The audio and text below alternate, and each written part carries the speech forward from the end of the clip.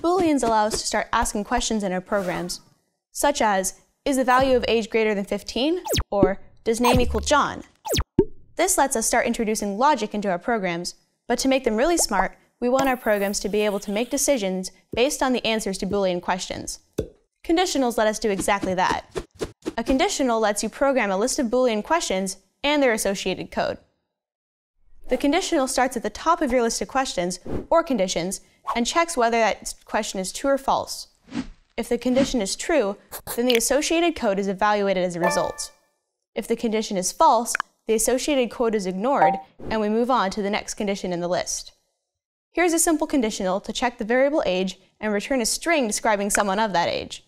Let's see what happens when we evaluate with this age set to 15. What about when age is 3? Now, what should happen if age is 50? None of our conditions evaluated true for 50, that's a bit troublesome.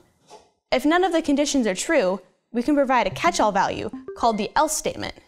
The else statement only runs if none of the other conditions were true. So, by adding adult to the end of our conditional, we can catch ages outside of the range of our existing conditions.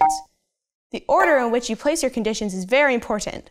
The first condition that returns true is the one that wins.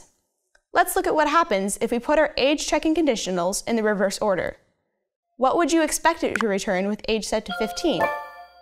How about 3 or 50? In the next stage, you'll write programs that use conditionals to make logical decisions. Every conditional needs to have at least one condition and an else statement. If you need to check against more conditions, click the plus button above the else statement. If you want fewer conditions, click the minus button next to the condition you wish to remove.